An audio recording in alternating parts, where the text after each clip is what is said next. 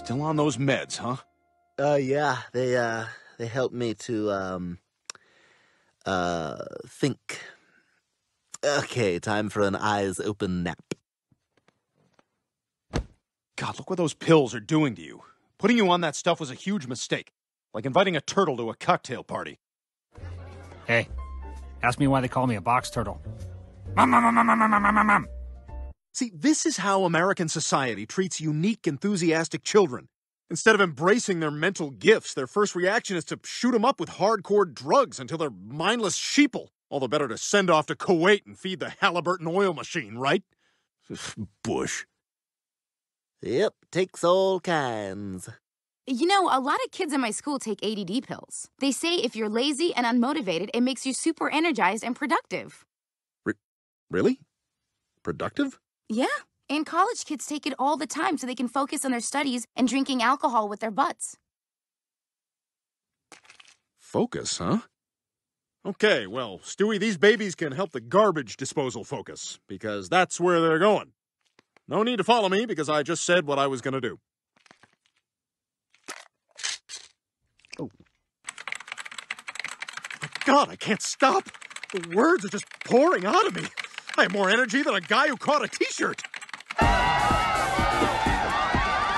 My wife can wear this to sleep! My wife can wear this to sleep!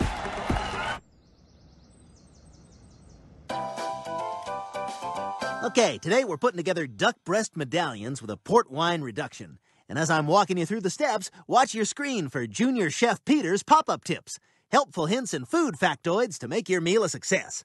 You're going to want to start with a large self sealing plastic bag. And in that bag, we'll combine one large finely chopped garlic clove, one tablespoon of grated peeled fresh ginger, two teaspoons of five spice powder, a teaspoon of salt, and a half teaspoon of fresh ground pepper. Then you're going to want to add the duck breasts, seal the bag, and refrigerate that for at least one hour, or up to 24 hours if you want to prepare this ahead of time. Just make sure you remove the bag from the refrigerator one hour before cooking. You're going to put that in your oven, preheated to 400 degrees. So we just spoon on the drippings, and that'll brown the skin nicely. If you bang these metal spoons on everything, it's like stomp. Look at me! I'm huge in 2002! Peter! Nothing like a night at the theater that ends in a headache. Damn it, Peter, that's it! I can't do this show with you anymore! You're fired! What? You can't fire me! Only Mr. Spacely can fire me. Griffin, you're fired! Okay, that's fair.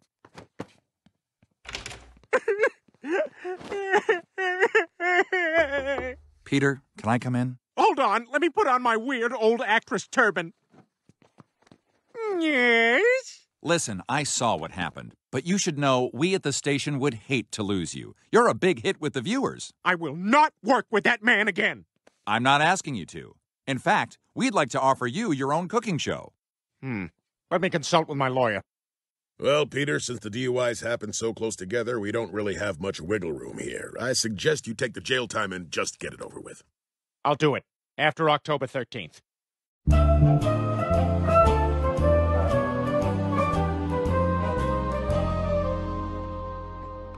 Come on, Rupert, wait, wait till you see this. This is really something special. Check out how much water is in the dehumidifier. Wow! That was all in the air. Brian? Is that, is that, uh, is that, uh, you? Stewie, rearrange. Uets, rearrange. Wiest, restore. Stewie, hey, come see what I've been working on. I call it Space Shire 7. Nice, nice. It's like, uh, it's like a fake, uh, place you made? It's a medieval sci-fi universe adaptable to TV, movies, toys, games, and mobile apps. I threw together a 2,000-page treatment last night, and I just figured the hell with it. Why not build a scale model and record voices for all the characters? Watch. Well met, stranger. Araskadika Plitcho. That's a Nebulon mage. He speaks Gabi, this dumb language I wrote. It's then illegal? What? Hello?